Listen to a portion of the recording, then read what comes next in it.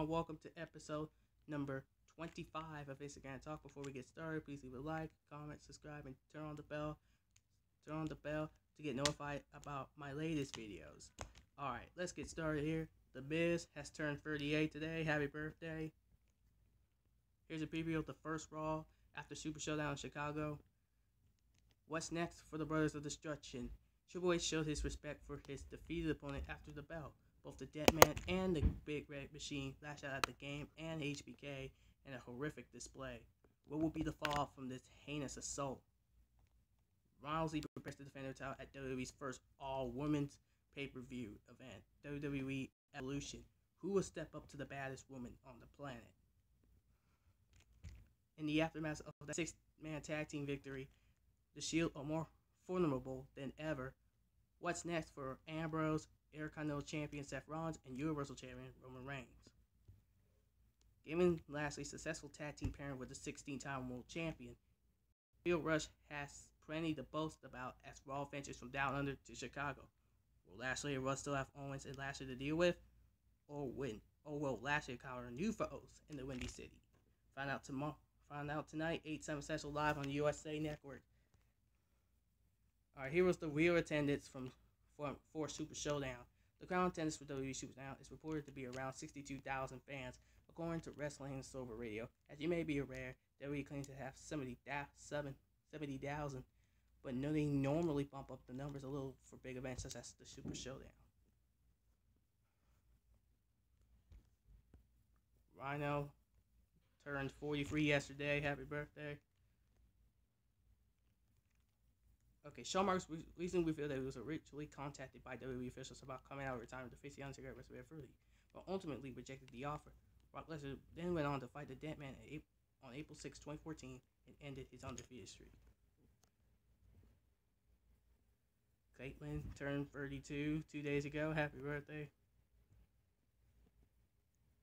Alright, Crown Jewel was moved to a smaller venue. In a recent press release, WWE announced that Crown Jewel will now be taking place at the 25,000 seat King Saud University Stadium instead of the larger King Fahd International Stadium, which has a capacity of over 68,000. The event was streamed live on WWE Network and beyond pay-per-view outside of the Middle East.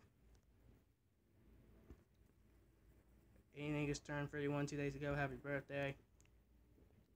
Alright, TMZ Sports recently asked Jerry Lawler about attending the rally for President Donald Trump. According to Lawler, he received hate mail for attending the event. Jerry stated, Well, it's funny.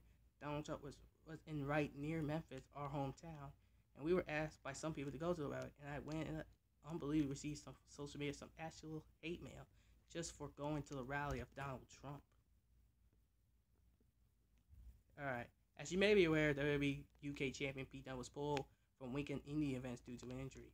According to F F4W Online, Pete, it, Pete is dealing with a minor foot injury. It is not expected to miss next week's WWE NXT, NXT UK tape, TV tape is in Plymouth, England.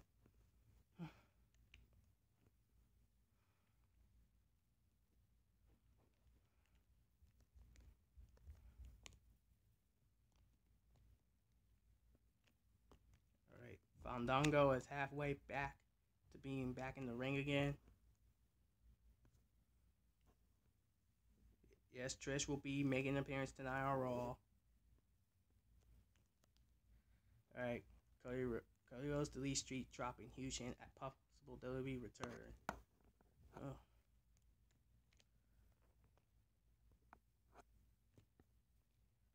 Alright, Bayley responded to one of Ivory Street saying, Ivory, let's wrestle.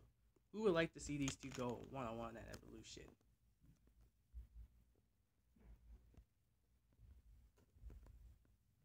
Oh wait, Big Show's return.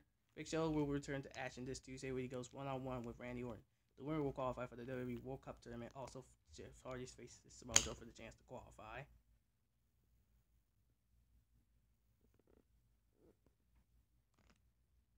All right, I guess that will be all here for Instagram Talk. But wait, before we go, please leave a like, comment, subscribe, and ring the bell to get notified about our latest video. I'll see you guys next time.